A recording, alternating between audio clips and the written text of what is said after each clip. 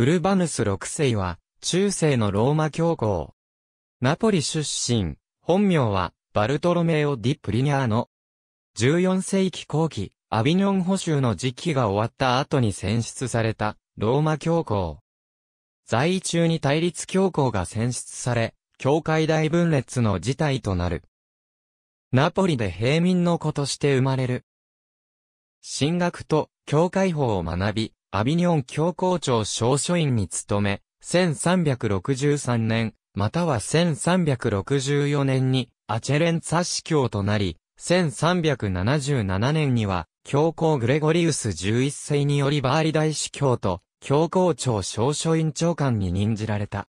経験で、実務に長けた人物だったという。同年に、グレゴリウス11世は、アビニョンからローマに帰還し、翌1378年3月27日に、死去した。4月に、ローマで行われた、教皇選挙では、ローマ人か、イタリア人教皇と叫ぶ群衆が、選挙会場を取り囲んだ。フランス人が、多数派の枢機卿らは、身の危険を感じる中プリニャーノを選出した。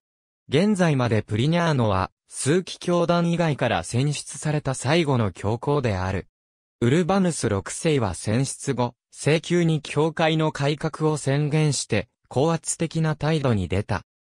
恩和と分別にかけ、数奇教たちを侮辱したり粗暴で傲慢な教皇の態度に反発したフランス人数奇教らは同年9月にアナーニへ集まり、教皇選挙は脅迫のもと行われたので無効であるとして、フランス王シャルル5世の支援を得てクレメンス7世を新教皇に選出し、フランス、ナポリ、カスティーリャ、アラゴン、ポルトガル、スコットランドが支持したため、教会大分裂の事態に至った。ウルバヌス6世は、ローマを固めクレメンス7世をローマへ入らせず、離反した数奇教たちを免職し、新たに29人の数奇教を補充した。彼には後に聖人となるシエナのカタリナ、神聖ローマ帝国、イングランド、ハンガリー、北欧諸国の支持があった。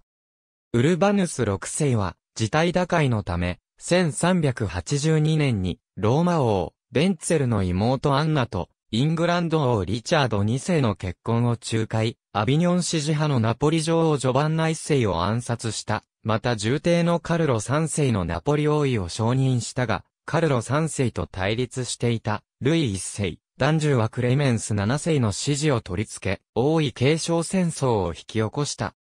だが、その後、ウルバヌス6世は、カルロ3世と仲違いして、戦争になり、反対派とみなした6人の数奇教を拷問にかけたり、ナポリへ出陣して惨敗、ノバーラで籠城していたところを、ナポリ軍に包囲され、かろうじてローマへ退却するありさまだった。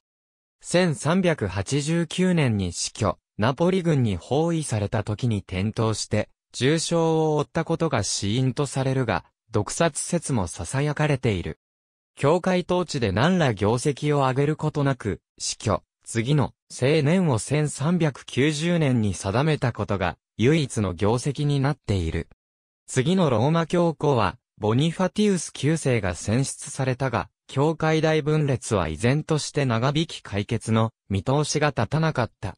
カルロ3世とルイ1世のそれぞれの息子ラディズラー王1世と、ルイ2世、男獣もナポリ王位争奪戦を続け、両者は、教会大分裂に介入して、混乱に拍車をかけていった。ABC 新カトリック大辞典編纂委員会 P712 AB バンソン P127 スチュワート P178 P179 ABC バンソン P128。